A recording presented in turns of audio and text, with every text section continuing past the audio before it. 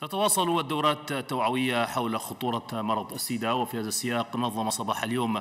مركز القراءة والتنشيط الثقافي دورة توعوية بمركز بابا مصطفى الثقافي. كان ذلك بحضور الأمين العام لوزارة التنمية السياحية والثقافة والعديد من المدعوين. تقرير إبراهيم محمد موسى.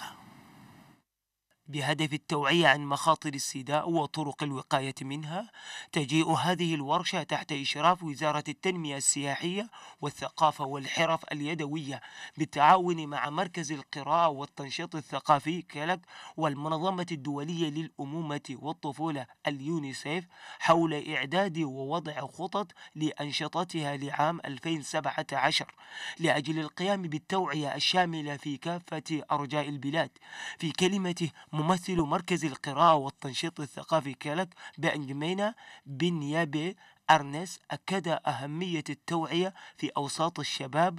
التي شمل بعض أقاليم البلاد والمدن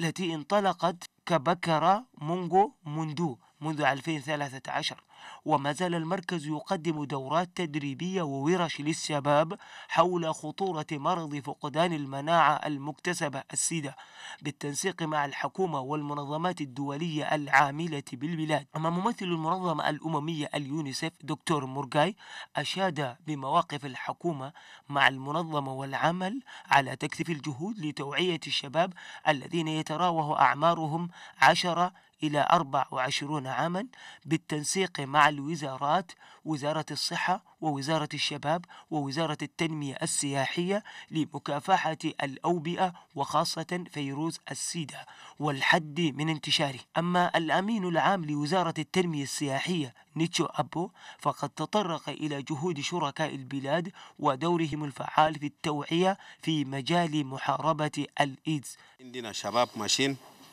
بلابو ولا بيجرو بألمو